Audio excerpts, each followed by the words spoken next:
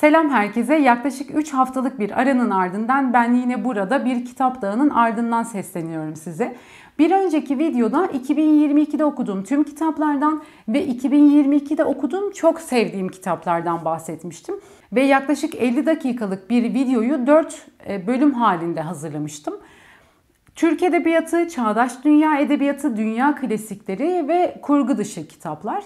2022 benim en fazla kurgu dışı kitap e, okuduğum yıl olabilir kendi kişisel tarihimde. Çünkü psikoloji üzerine okuma yapmayla epey ilgilendim ve her bir kitap bir başka kitabı getirdi bana. Dolayısıyla benim adıma çok verimli, çok e, yararlı okumalardı. Hem kendimi hem insanları anlayabilmem adına. E fakat bunun biraz yorduğunu söyleyebilirim ve aynı zamanda ben geçen yıl okuduğum tüm bu kitapları okurken ve kendi okumalarımı kendi içimde değerlendirirken bir yandan da beni neyin mutlu ettiğini, aslında neyi en çok okumak istediğimi de görmüş oldum ve yine aynı yere çıktım aslında. Başlangıç noktam da buydu ve yıllar sonra yüzlerce kitap okuduktan sonra geldiğim nokta yine aynı. Ben edebiyat insanıyım ve ben edebiyat okumaktan hoşlanıyorum. Ben iyi roman seviyorum. iyi yazılmış roman seviyorum. Ve bir de 2022'nin sonlarına doğru okuduğum ve çok etkilendiğim bazı kitaplar vardı. 3 kitap. E, hayır, 3 yazar 4 kitap.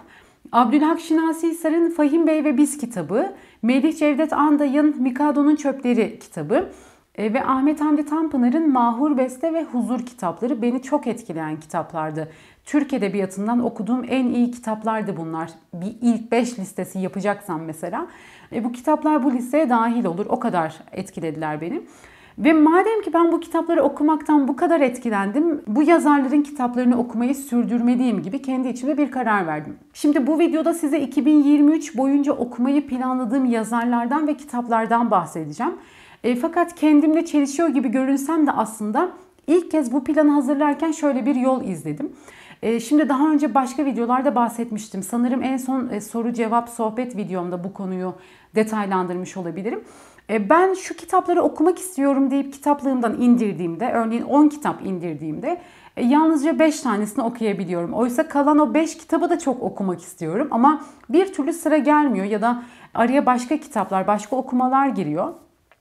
E, fakat o okumadığım 5 kitap benim aklımı kurcalamaya devam ediyor. Bu yüzden bu videoda 2023 için kendime okuma planı oluştururken ve bunu size anlatırken şöyle bir yol izledim. Hem uzun zamandır ertelediğim ve çok okumak istediğim dünya klasikleri olacak bu videoda. Hem okumak istediğim bazı kitaplar, seçilmiş bazı kitaplar olacak. Hem de bana daha geniş bir yelpazede okuma sunsun. Ne okumak istiyorum, ne okuyacağım ben şimdi diye bir kararsızlığa düştüğümde önümde daha fazla seçenek olabilsin diye bazı yazarların kitaplarını indirdim. Evet tüm kitaplarını indirdim kitaplığımdan.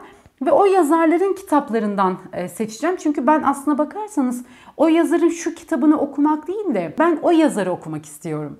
O yazarın anlatımını okumak istiyorum gibi bir noktaya vardım ve böylece hem kendimi e, çok sıkıştırmamak adına hem yazarın bazı kitaplarını okurken diğerlerini göz ardı etmemek adına böyle bir yol izledim. Şimdi bu videoda benden adını daha önce hiç duymadığınız yazarlar olacak. Hem de adını pek çok kez andığım başka kitaplarını okudum ve çok sevdiğim, e, okumaya devam etmek istediğim yazarlar olacak. Hepsinden detaylı olarak bahsedeceğim size. Ama ben bu kitapları şimdi coşkuyla anlatırken videonun bölünmemesi ve konunun dağılmaması için daha önceki videolarda da yaptığım gibi videomuzun sponsoru tamadres.com'dan şu anda bahsetmek istiyorum size. Tamadres.com onlarca yayın evinin binlerce kitabını 24 saat içerisinde kargoya ulaştıran, benim uzun zamandır işbirliği içerisinde olduğum güvenilir bir kitap satış sitesi. Tamadres.com'a girdiğinizde yalnızca kitap satın almazsınız. Onların edebiyat üzerine, kitaplar üzerine farklı kategorilerde oluşturduğu blog yazılarından da yararlanabilirsiniz. Ekranda gördüğünüz kodu Begum C5 kodunu kullanarak tamadres.com'da mevcut olan indirimlere, kampanyalara ek olarak %5 indirimle kitaplarınızı satın alabilirsiniz.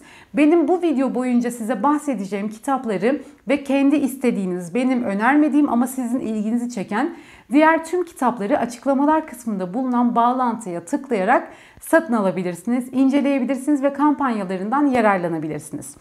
E, şimdi adını benden daha önce hiç duymadığınız yazarlar var demiştim. Onlardan biri ve beni çok heyecanlandıran bir yazar Nilgün Marmara. Nilgün Marmara'nın elimde defterler metinler, kağıtlar ve Sylvia Plath'in şairliğinin intiharı bağlamında analizi adlı bu dört kitabı var. Dördü içinde ayrı ayrı çok heyecanlıyım. E, Nilgün Marmara henüz 29 yaşındayken kendi isteğiyle yaşamına son vermiş, intihar etmeyi seçmiş bir yazarımız. E, fakat geride bıraktığı eserler çok kıymetli. Yaşamı e, hüzünlü olsa da e, eserleriyle tanışmak için can atıyorum. Çok heyecanlanıyorum onu okuyacağım için. Nilgün Marmara Boğaziçi Üniversitesi İngiliz Dili ve Edebiyatı bölümünden mezun ve elimdeki bu kitap Sylvia Plath'in şairliğinin intiharı bağlamında analizi onun bitirme teziymiş. E, Sylvia Plath belki biliyorsunuzdur yine intihar ederek e, yaşamını sonlandıran ve çok da acı bir şekilde çok da güzel bir kadınken yaşamını sonlandıran bir yazar şair. E, fakat hayatlarının bu noktasında çok trajik bir benzerlik var. Belki de bir etkilenim var aralarında. Şimdi aslına bakarsanız ben ölüm üzerine konuşmayı sevmiyorum. Hiç sevmiyorum. Çok tedirgin oluyorum. Yani bu bana iyi gelmiyor. Ee, özellikle de Nilgün Marmara'nın, Sylvia Plath'in, diğer yazarların, şairlerin intiharı, ölümü hakkında konuşmayı çok istemiyorum. Çünkü ben bunun özendirici bir e, tarafı olduğuna, insanları etkileyen bir tarafı olduğuna inanıyorum. Bu konuda uzman değilim. Yapılan araştırmaları, çalışmaları bile incelemedim. Fakat beni tedirgin ediyor bu mesele hakkında konuşmak. Çünkü şu anda beni kim dinliyor, kim izliyor bilmiyorum. Kimin hangi psikolojide, hangi yatkınlıkta e, beni izlediğini bilmiyorum ve kimseyi tetiklemek istemiyorum. Yani benim böyle bir meylim yok. Yaşamı, hayatı çok seviyorum. Nefes aldığım her an için şükrediyorum. Benim böyle bir yatkınlığım yok evet ama kimseyi e, tetiklemek istemem. Dolayısıyla benden Nilgün Marmara'nın adını bundan sonraki videolarda duyduğunuzda bu konuya değinmezsem eğer, e, değinmeyeceğim demiyorum. Değinmezsem eğer sebebi bu olabilir. Fakat onun kitaplarını okuduktan sonra onun üzerine de detaylıca konuşmak istiyorum. E çünkü yazdıkları da çok ilgi çekmiş. Hatta e, onun ölümüyle ilgili e, pek çok haber, pek çok söylenti çıkmış ve eşi e, defterlerin ön sözünde bu konuya açıklık getirmiş ve onun intihar mektubunu da e, kitabın son sayfalarında bulabiliyoruz. E, böyle Nilgün Marmara'yı okuyacağım için çok heyecanlıyım. Okuyacağım anı, günü heyecanla, hevesle bekliyorum. Adını benden daha önce hiç duymadığınız bir başka yazar Sevim Burak. Mektupları var elimde. Aslında ben Sevim Burak'ın Yanık Saraylarını okumak istiyordum. Yıllardır hatta. Bin kitapta okuyan arkadaşlarım vardı ve onların paylaşımlarını gördükçe okuma isteği duyardım ama bir türlü sıra gelmedi. Kitaplığımda da kitapları yok zaten. Yanık sarayları yakın zamanda temin etmeyi planlıyorum. Fakat mektupları var elimde. Ve aslına bakarsanız ben mektup okumayı çok seviyorum. Yani daha önce bu konuda e, pek çok e, kitap önerdim size. Instagram'da da çok sık paylaşıyorum. Hatta 17 Aralık'ta sanırım Dünya Mektup Yazma Günü'ne özel mektup türünde yazılmış kitapları paylaşmıştım Instagram'da. Açıklamalar kısmına bağlantısını bırakırım. Sadece bu türde yazılmış kitaplara bakabilirsiniz. Mektupları okumayı önemsiyorum. Sadece Sevim Burak için değil tüm yazarlar için aslında ben günlük ve mektup e, okumayı önemsiyorum. Çünkü onların o e, yalın, sade, dolaysız anlatımını, yayımlanma kaygısı gütmeden, kaygısızca yazdığı mektuplar bunlar. Dolayısıyla hem yazarların hayatını ve gerçek kimliklerini yazar kimliklerinden bağımsız olan kimliklerini görebiliyoruz bu noktada. Hem de bu mektupları yazarlarken onlar çoğunlukla e, sevgilisine, eşine, ailesine, dostlarına yazarken bu mektupları kitapları üzerine de bilgi sahibi olabiliyorsunuz. Çünkü eserlerinin yazım süreci hakkında da bilgi verebiliyorlar. Mesela e, geçenlerde değil, e, epey zaman önce bahsettiğim Tezer Özü'nün Ferit Edgü'ye yazdığı mektuplardan oluşan bir kitap vardı. Her şeyin sonundayım. Orada mesela Tezer Özlü hakkında gerçekten bilgi sahibi oluyoruz. Onun kitapları hakkında bilgi sahibi olabiliyoruz vesaire. Dolayısıyla Sevim Burak'ı mektuplar üzerinden tanımak benim için e, verimli olabilir diye düşünüyorum. Daha önce benden adını çok duyduğunuz, yere göğe sığdıramadığım, çok sevdiğim, çok çok sevdiğim bir yazarımız. Yine Türk Edebiyatı'ndan elbette. Adalet Ağoğlu. Adalet Ağoğlu'nu çok seviyorum. Yani ona dokunmak, sarılmak isterdim. Onunla bir fotoğrafım olmasını çok isterdim mesela. Yazdıklarını çok seviyorum, duruşunu çok seviyorum. Ve Adalet Ağaoğlu'nun da kitaplığımda Damla Damla Günler 1, 2, 3, 4 günlükleri var. Ve bu günlükler bize 1969 yılından 1996 yılına kadar Adalet Ağaoğlu'nun yaşantısını sunuyor. 25 yıllık bir yaşantıdan bahsediyoruz. Yani insan ömründe 25 yıl e, ciddi bir süre e, hele de olgunluk çağı için hayata ilişkin düşüncelerini okuyabileceğimiz için bence önemli yıllar bunlar. Bir de bu kitapları kurcalarken bir detayı fark ettim. Ondan bahsetmek istiyorum size. 1969 ya da 70 olmadı 15 Ağustos tarihli bir e, notunda yazısında Adalet Ağoğlu Madame Bovary üzerine bir çalışma yaptığından bahsediyor ve yani Adalet Ağoğlu'nun sadece günlük telaşlarını, günlük yaşayışını okumayacağız da onun üretken tarafını, araştırmacı tarafını, e, kitaplar hakkında bazı kitaplar üzerine mesela benim çok sevdiğim Madame Bovary üzerine ne düşündüğünü, nasıl bir çalışma yaptığını da okuyacağım. Bu beni çok heyecanlandırıyor. Çünkü Emma Bovary e, tırnak içinde ahlaksız kadın olarak anılmış, bahsedilmiş bir karakter. Taşra'da geçen bir yaşantı, heyecanlı bir kadın. Emma bir aşk kadını, e, bir doktor, Taşra'da görev yapan bir doktor. Onların ilişkisi, yaşantısı ve daha pek çok detay. Benim çok sevdiğim bir roman. Bununla ilişkili olarak da size şundan bahsetmek istiyorum. E, Ahmet Hamdi Tanpınar'dan bahsedeceğim şimdi size. Huzur'u e, okudum. Ve Huzur'da bir karakter var. Çok kısa bir süre adı alınan ama önemli bir e, detay veriyor bize kitapla, hikayeyle ilgili. Emma adlı bir karakter. E, şimdi Ahmet Hamdi Tanpınar'ın Fransız edebiyatını ne çok sevdiğini, Fransız edebiyatından etkilendiğini biliyoruz. Bunu zaten kendi ifadeleriyle de e, okuyoruz. Özellikle Marcel Proust'tan çok etkilenmiş. E, fakat ben burada Huzur kitabındaki Emma karakterinin Madame Bovary, Emma Bovary ile bir benzerliği olduğunu düşünüyorum. Çünkü ikisi de aşk kadını, ikisi de e, ahlaksız kadın tırnak içinde söylüyorum. E, dolayısıyla aslında şimdi Ahmet Hamdi Tanpınar'ı okurken, Huzur'u okurken böyle bir detay yakaladım. Adalet Ağoğlu'nu okurken, e, kitabı kurcalarken böyle bir detay gördüm burada. Bunlar benim çok hoşuma giden detaylar. Sanki yazar bir an düşünüp çok küçük bir edebiyat oyunu yapıyor burada ve ben onu yakalıyorum. Ve aramızdaki bağ güçleniyor. Çok tatlı buluyorum. Bu heyecanımı çok tatlı buluyorum. Ve seviyorum bunları. E, dolayısıyla biz e, Adalet Ağoğlu'nun yaklaşık 25 yılını onun dilinden, onun günlükleri üzerinden okurken hem e, ülkedeki gelişmelere, dünyadaki gelişmelere, kültürel değişimlere, Adalet Ağoğlu'nun yazar kimliğinin nereden nereye gittiğine, kişisel tarihinde neler yaptığına, öfkesine, üzüntüsüne, pişmanlığına, heyecanına her şeye e, tanık olacağız. Bu kitapları okuyacağım için çok heyecanlanıyorum. Bir de romanı vardı kitaplığında 3-5 kişi. Bu 5 kitapla beraber Adalet Ağoğlu'nun kitaplığında başka bir kitabı kalmamış oldu. Dar Zamanlar e, üçlemesi değil dörtlemesi var kitaplığında bir de onu da çok seviyorum. Yere göğe sığdıramamıştım zaten çok bahsetmiştim. 2018 ya da 2019 olmalı. O kadar çok anlatmıştım ki baskısı tükenmişti kitabın ve e, yeni baskı bekliyorduk. Özellikle büyük boy ciltli bir baskısı vardı bende de olan. Çıkarmadım şimdi gösteremeyeceğim size. Ama e, çok değerli bir okumaydı. Çok sevdiğim kitaplardı. E, eğer okumadıysanız dar zamanları da mutlaka okumanızı isterim. Ahmet Hamdi Tanpınar demişken e, Şimdi 2022'nin e, son aylarında Mahur Beste'yi ve 2022'nin son dakikalarına kadar Huzur'u okudum. Aslında Ahmet Hamdi Tanpınar benim daha önce e, kitabını okuduğum bir yazar. Yani ilk kez okumadım. Saatleri Ayarlama Enstitüsü'nü okumuştum yıllar evvel. 2018 ya da 2019 olmalı. Fakat kendimle ilgili şunu fark ettim. Ben Ahmet Hamdi Tanpınar'ı okumanın olgunluğuna yeni erişmiş olabilirim. Ahmet Hamdi Tanpınar öylesine okunup geçilecek bir yazar değil bence. Tıpkı Abdülhak Şinasi Hisar gibi e, Ahmet Hamdi Tanpınar'da bence bir olgunluk gerektiriyor. Yani e, örneğin benim Türk Edebiyatı'ndan çok sevdiğim ve Türk Edebiyatı'nın en sevdiğim kitabı olarak bahsettiğim İnce Mehmet.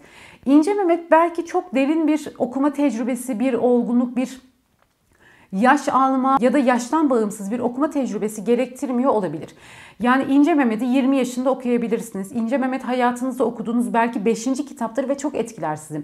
Fakat ben bunu Ahmet Hamdi Tanpınar için düşünmüyorum. Abdülhak Şinasi Hisar için düşünmüyorum. Tabii bu benim kişisel görüşüm. Bana katılmayabilirsiniz. Bu e, bir doğru değil. Böyle olmalı değil. Benim tecrübem ve fikrim bu yönde. E, dolayısıyla ben e, Ahmet Hamdi Tanpınar'ın Saatleri Ayarlama Enstitüsü kitabını okurken bu denli etkilendiğimi ve coşkuyla size bahsettiğimi de hatırlamıyorum. Evet iyi bir kitaptı zaten kötü bir kitaptı demem söz konusu olamaz. Fakat Mahur Beste'yi okurken gördüm ki bambaşka bir lezzet var. Huzuru okurken gördüm ki bu ne müthiş bir roman, bu ne güzel bir e, edebiyat eseri. gerçek anlamda bir eser, bir başyapıt. Çok etkilendim. E, ve Ahmet Hamdi Tanpınar'ın kitaplarından bahsedilirken yani Nehir romanı üçlemesi diye bahsedilen kitaplar bunlar. Mahur Beste, Huzur ve Sahnenin dışındakiler. Fakat tamamlayıcı olan bir kitap var arada okunması gereken. O da Suat'ın Mektubu.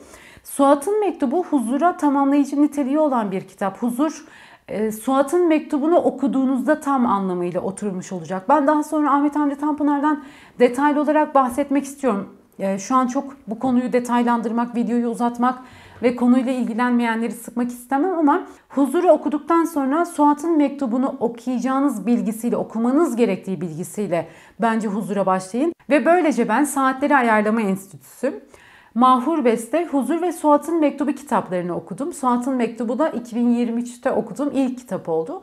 Ardından sahnenin dışındakileri okuyacağım ve bu birbiriyle ilişkili dört kitabı okumuş, bitirmiş ve kitaplığıma kaldırmış olacağım.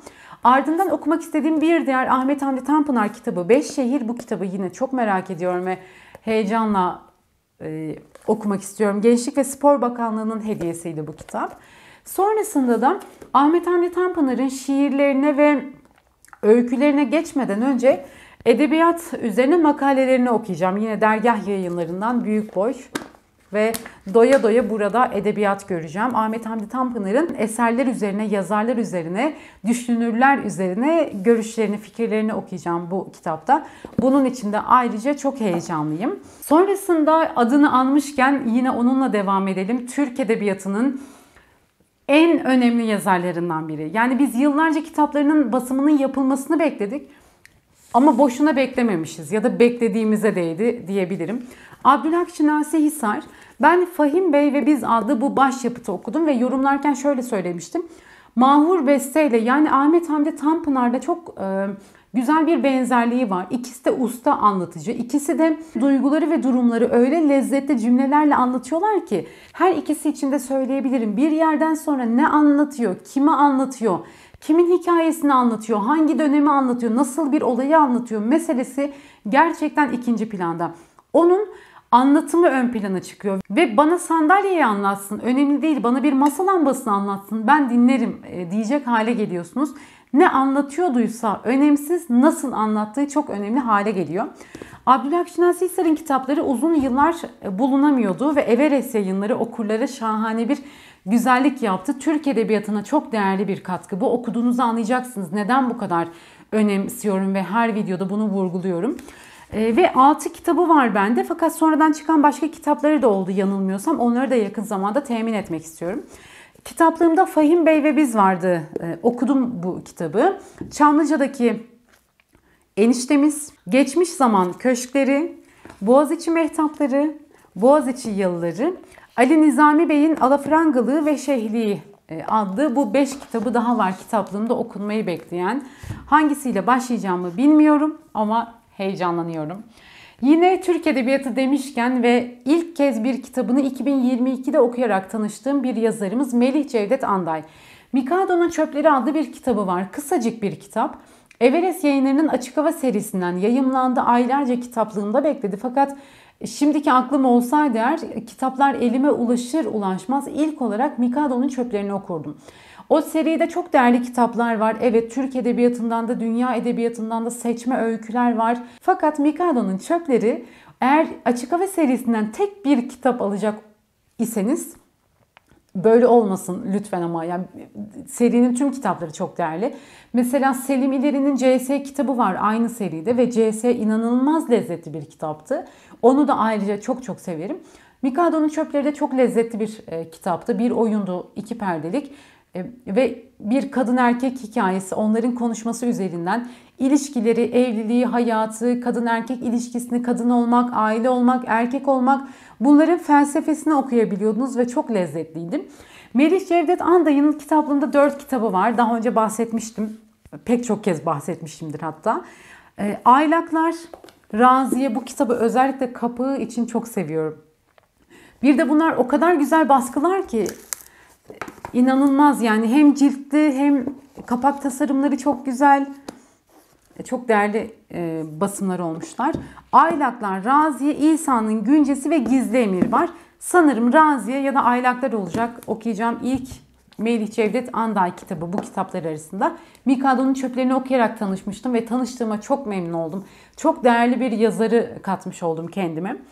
E, şimdi 3 kitap var. Özenle seçildiler kitaplıktan Türk Edebiyatı deyince. Daha pek çok kitap var aslında Türk Edebiyatı'ndan okuduğum, okumayı düşündüğüm, okumayı ertelediğim ama bazılarına öncelik vermem gerekiyor. Çünkü 2023'te yapacağım tüm okumalar elbette bu kitaplarla sınırlı kalmayacak. Daha pek çok kitap okuyacağım. E, dünya klasikleri okuyacağım, öykü okuyacağım, şiir okuyacağım, kurgu dışı kitaplar okuyacağım, Freud okumaya devam edeceğim vesaire. Ama ertelediğim kitaplardan biri e, olarak Bilge Karasu'nun Gece kitabını seçtim. Kitaplığımdan hiç okumadım daha önce Bilge Karasu. Neden sizce ertelediğim kitaplardan biriydi. Geceyi okumak istiyorum yakın zamanda. Oğuz Atay'ın e, kitaplarını okudum. Üç kitabını okumuştum galiba. Tutunamayanlar, Tehlikeli Oyunlar ve Korkuyu Beklerken. Fakat benim sıralamam biraz ters gitti. Ben ilk olarak tutunamayanları okudum 20'li yaşlarımın başında ve bilirsiniz okuduysanız zor bir kitaptı. Biraz daha ileri dönemlerde okusam bence benim adıma daha yararlı olabilirdi. İkinci kez okumaya da pek çok kez niyetlendim ama sıra gelmiyor her kitabı okumaya, hele de ikinci kez okumaya. Bir bilim adamının romanı Mustafa İnan'ın yaşamını anlattığı kitabı var elimde okunmaya bekleyen kitabı olarak. Günlüklerini de okumak istiyorum aslına bakarsanız. Hatta günlüklerini de alayım belki onu da okurum 2023'te. 2022'nin sonlarında elime bu kitabı almıştım. Okumaya çok niyetlenmiştim. Fakat Mahur Beste de bana bakmıştı ve beni oku demişti. Instagram'dan paylaşmıştım hatta. Fakat o kadar çok insan Mahur Beste'yi oku lütfen demişti ki gerçekten onların neden bu kadar ısrar ettiğini biraz da görmek istemiştim. İyi ki öyle yapmışım. İyi ki siz dinlemişim. Hatta bu kadar ısrarlı öneriniz varsa bu kitaplar arasında lütfen yorumlara yazın. Yine ben onlara öncelik vererek başlayayım. Ve böylece bir bilim adamının romanı ertelenmiş oldu. 2023'te okumayı planlıyorum. Orhan Kemal'in Bereketli Topraklar üzerine kitabı yine kitaplığımda okunmayı bekleyen değerli Türk Edebiyatı'ndan kitaplardan biriydi. Şimdi bu kadar Türk Edebiyatı yeter. Herkes senin kadar sevmiyor Türk Edebiyatı'nı. Bize biraz da dünya klasiklerinden bahset diyorsanız o kadar çok okuyacağım dedim ki size bu kitapları. Artık bir kez daha okuyacağım demekten sanırım biraz utanmam gerekiyor. Yani biraz en azından size ya da kendime mahcup olmam gerekiyor. Fakat okuma konusunda oldukça iştahlıyım ve oburum. O yüzden hiç böyle bir kaygım yok. Ee, şimdi Savaş ve Barış. Bende hem Alfa yayınlarından 4 cilt olan baskısı var fakat e, onu değil bu kitapları indirdim kitaplıktan. Daha doğrusu bunları indirmedim. Bunlar zaten inmişti o yüzden hemen kolay olsun diye bunları aldım. E, fakat Alfa yayınlarının Savaş ve Barış 4 cilt e, halinde çıkardığı bu basım açıklamalı e, ve dipnotlu. Dolayısıyla e, o baskıda yapılan açıklamalara ihtiyaç duyabileceğimi düşünüyorum. Hangi basımdan okuyacağıma henüz karar vermedim. Belki karşılaştırmalı okurum, belki biraz oradan biraz buradan okurum. Belki bu iki cilt ve sayfa sayısı çok fazla olduğu için dört cilt e, cilt cilt okumak daha kolay gelecektir. Oradan okurum bilemiyorum. E, bu basım Leyla Soykut çevirisi, iletişim yayınları olan baskısı. Ama Alfa basımının çevirisini kim yaptı hatırlayamıyorum şu anda. Sabri Gürses yapmıştı galiba. Bir bakarım onu, ekrana yazarım. E, böyle Savaş ve Barış'ı artık okuyayım. Çünkü e, Tolstoy'la benim aram pek iyi değildi. Okuduğum bazı kitapları vardı. Biraz uzaklaşmıştım ondan. Fakat Ivan İliç'in ölümünü okuduktan sonra tekrar çok yaklaştım ona. İşte kitapların bir zamanı, bir dönemi var diye bu yüzden diyorum hep. Ivan İliç'in ölümü bir hasta psikolojisini, bir hastalık psikolojisini anlatır. E, hastanın psikolojisini okumak benim adıma şu anlamda çok enteresandı. Ne anlattığına hiç bakmadan e, ben hastanede annemin yanında refakatçi kalırken yanında götürmüştüm kitabı. Ve yanımda annem yatarken, hastayken ve acı çekerken ben Ivan İliç'in e, hikayesini okumuştum. Onun acısını, ağrısını okumuştum. Ve o kadar iyi anlayabilmiştim ki onun ne hissettiğini, nasıl hissettiğini. E, dolayısıyla bu anlamda beni çok etkilemişti. Hazır aramız bu kadar iyiyken Tolstoy'la e, bir de Savaş ve Barış'ı okumak istedim. Bir de Tolstoy'un biyografisi var kitaplığımda. Everest yayınlarından çıkan harika bir biyografi serisi var. Tolstoy'un, Dostoyevski'nin, Suzan Sontag'ın, e, Kortazar'ın biyografileri var. e, bu seride ilginizi çekerse bakabilirsiniz. En azından Tolstoy ve Dostoyevski gibi sürekli elimizin gittiği hayatımızın herhangi bir döneminde mutlaka bir kitabını okuyarak yeniden e, karşılaştığımız ve her defasında yeni bir karşılaşma olan e, bu yazarların eserleri için bu biyografilere bakmanızı öneririm. Usta ile Margarita 15. kez okuyacağım diyorum. Okuyacağım. Cennetin Doğusu 15. kez okuyacağım diyorum. Fakat çok istiyorum bu kitabı okumayı okuyacağım. Çünkü ben e, John Steinbeck'i çok seviyorum. Gazap üzümlerini çok seviyorum. Çok çok seviyorum. Okuyalı da epey zaman oldu aslında bakarsanız. Fareler ve İnsanlar, e, İnci, Gazap Üzümleri çok sevdiğim kitaplar.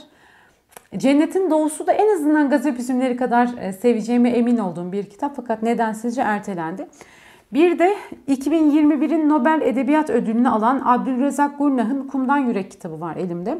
Bu kitabın ilk sayfasını okumuştum ve ilk sayfası beni çok heyecanlandırmıştı. Ben zaten çok severim böyle hikayeleri.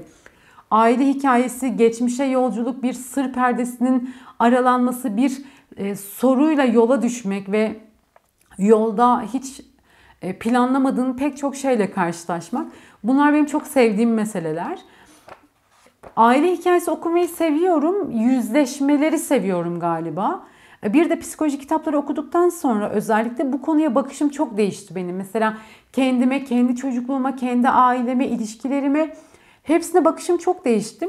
Hatta hep şey diyordum o kitapları okurken. Bunları okumak beni çok incitiyor, yaralıyor.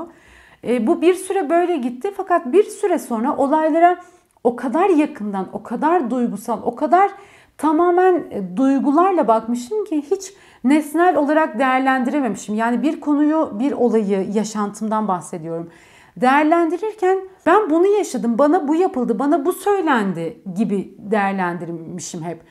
E, fakat sonra ben koşulları da bu meseleye dahil etmeyi öğrendim. Yani o sana bu kötülüğü yaptı ama nasıl bir durum içerisindeydi? O sana bu kötülüğü yaparken, sana bunları söylerken, senin canını bu şekilde acıtmak isterken aslında onun kendi içinde kendi başarısızlıklarıyla ve kendi iç hesaplaşmalarıyla ilgili nasıl büyük bir sancısı, bir yarası vardı da aslında sana bunu bu şekilde belki kıskançlıkla, belki acı bir sözle, belki bir e, can acıtma, bilinçli bir kötülükle bunu ortaya koydu şeklinde. E ben psikoloji kitaplarından öğrendim bunu. Yani olayların dışına çıkıp kendime, karşımdaki insana ve yaşanan o olaya, o duruma dışarıdan bakabilmeyi öğrendim. Emekleye emekleye, tırmalaya tırmalaya. Bu benim için 2022'de okuduğum bu psikoloji kitaplarıyla beraber yani Alfred Adler, Freud, Jacques Lacan, göremiyorum. Engin Geçtan başta. Engin Geçtan'ı mutlaka okuyun. Özellikle psikanaliz ve sonrası kitabını. Erik Fromm bu yazarlar, bu konuda önemli çalışmalar yapmış bu isimler. Bana 2022'de bunu kazandırdı ve ben artık şöyle bir noktaya geldim. Söylesin bu benimle ilgili değil, onunla ilgili bir durum. Yapsın bu kötülüğü aslında bana yapmıyor, kendine yapıyor ve dönüp dolaşıp o kötülük onun ayağına takılacak şeklinde ve buradan bakınca yani böyle bir olgunlukla bu meseleleri ele almak çok eğlenceli bir hale geldi. Ve kendi adıma da büyük bir kazanım oldu. Instagram'da paylaşmıştım galiba bununla ilgili e, bir kitap listesi, okuma listesi. Oraya da bakabilirsiniz. Uzun bir video oldu. Özlemişim konuşmayı. 3 hafta ara vermek, 3 hafta boyunca burada size kitap anlatmamak benim için o kadar büyük bir boşluk ki fakat zamanımı güzel değerlendirdim. Çok güzel kitaplar okudum. Suat'ın mektubunu okudum. Ee, ve şu anda Algernon'a Çiçekleri okuyorum. Siz bu videoyu izlerken ben Algernon'a Çiçekleri bitirmiş olacağım ve onu detaylı olarak size yorumlayacağım anı heyecanla bekliyorum. Lütfen 2023'te bu yazarın kitaplarını mutlaka okuyacağım dediğiniz kim varsa, ne varsa, hangi kitaplar varsa yorumlarda bana yazın. Ben de o kitaplara bakıp belki kendi listeme eklerim. Zaman ayırdığınız için teşekkür ederim. Sonraki videolarda görüşmek üzere.